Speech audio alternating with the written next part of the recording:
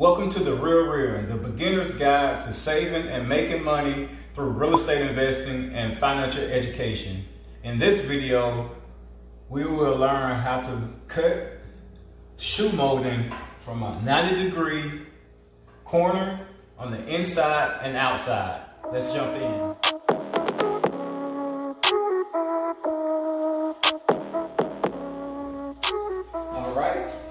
Tools that I am going to be using is a nail gun, small nail gun. If you don't have a nail gun, of course you can use a hammer and a nail. Uh, the size nails I'm going to be using, they are I think an inch and a half maybe. Um, this nail gun you can use up to two inch nails or very small little nails that put in your, your shoe mold. Of course once you nail everything you want to caulk it to make it to fill in any gaps that you may have. You need, your, of course, your tape measure to measure um, where you need to cut and how long your shoe mold needs to be. Uh, this is a miter box. Uh, this is uh, probably one of the cheapest ones.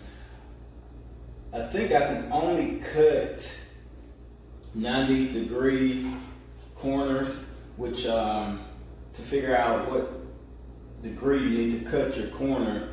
Uh, of course, at 90 degree, you will have to divide that by two, and that's a 45 degree angle. So we'll be cutting 45 degree angles today. And then this is the shoe mold. This is not wood. It's uh, can't think of the material uh, that it is, but it's not wood. It's about seven dollars uh, per 12 feet.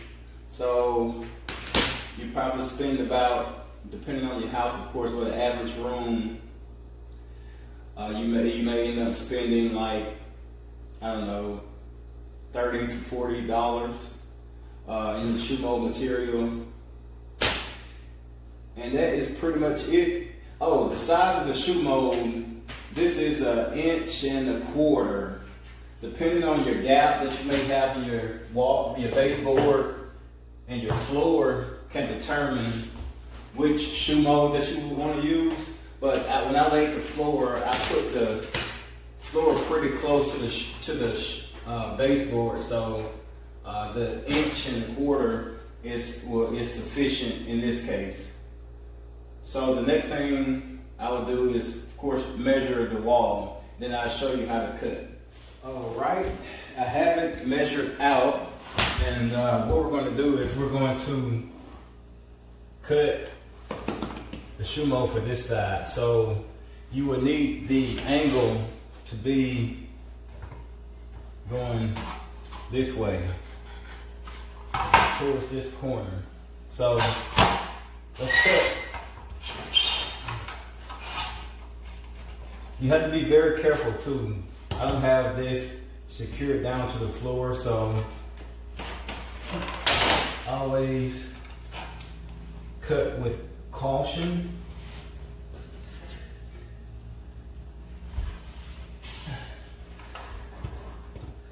Of course, if you have a, a hand like a circular saw, it would be easier, but I find it's not too much work to just use this, this uh, simple miter box. So let's cut.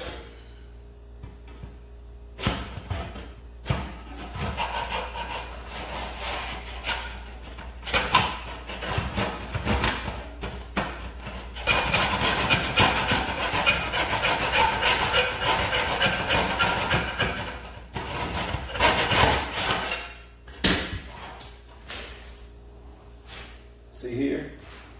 Now I'm just gonna go in place.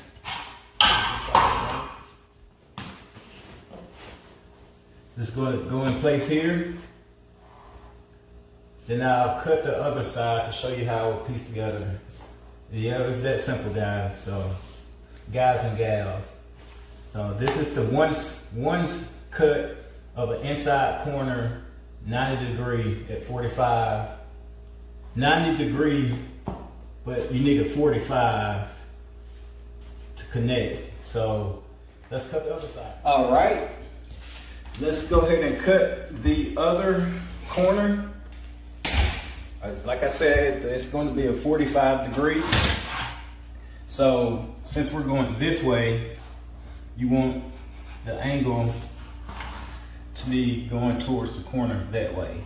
And also a tip, once you have your mark, you want to be sure that you want to cut it the way that's going to be laying against the baseboard and the floor. So it's easy to confuse it. So just make sure you cut it the way that's going to be laying on the on the floor. Another another tip is to you have you see the mark is here, but you have to be careful that once you put the saw in to cut it, you have to be sure that you're going to be cutting there because if you put this mark right here, the angle is going to cut it, cut behind it. So it, it'll end up being short. So you want to put it just a few, about right there, so that when you cut it, the angle actually ends right here. It doesn't, it shouldn't, it shouldn't start here. The cut should end here. So let's try, let's, let's give it a shot. Let's see here. You probably want to move it back a little bit more. Uh, about right there. And let me cut it real quick here. Again, be careful. I know this is, doesn't look safe. I'm not left-handed. Uh, matter of fact, let me cut it here.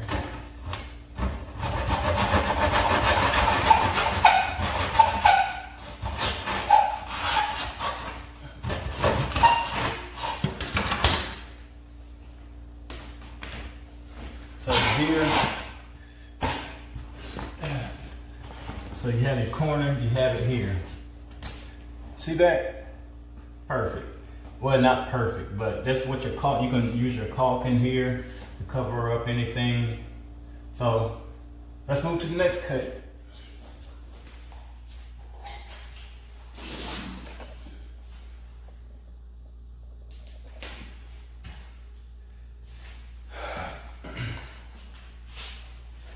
Okay guys, I decided to make it a little easier for us to understand. So I'm just gonna show you like this, I think it'll be easier. Say this is your wall here. And you have, you, you've already measured what you needed. So if this is going to be an inside corner here, see, you see how this is cut? going is pointing towards the inside. So on your miter, you will be cutting here towards the corner. And you see this piece here? So you're going to have this piece here pointing towards the, the inside. So your other piece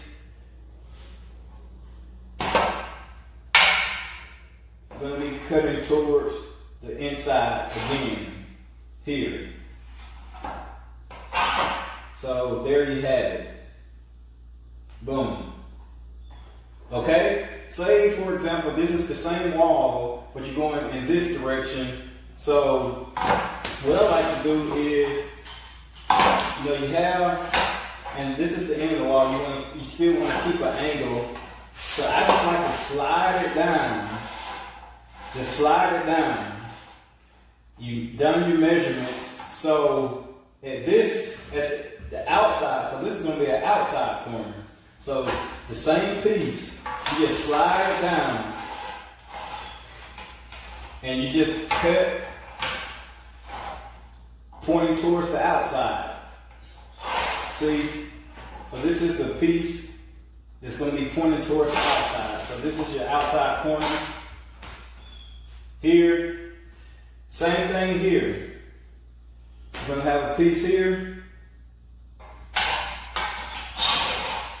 Cut it towards the outside. So then you have these two pieces and they're pointing, they're pointing towards the out. There you have it. So hopefully it won't confuse you, but I think it's fairly easy. Once you do it once or twice, you can get the hang of it. Another quick tip that I want to share with you all is if you have a situation where it's not a corner, but you just run out of shoe mold or whatever whatever molding you have, uh, just don't butt the two up together, you know, at a 90, you know, like flat surfaces, flat surfaces to each other. You will, um, the gap will be more than you would like. So you will need to angle it like this, butt it together. That will make make it look better once you put your caulk in now. So you can put some caulk in here. Uh, just a quick tip, don't put them like that. Put them like that. It turned out a whole lot better.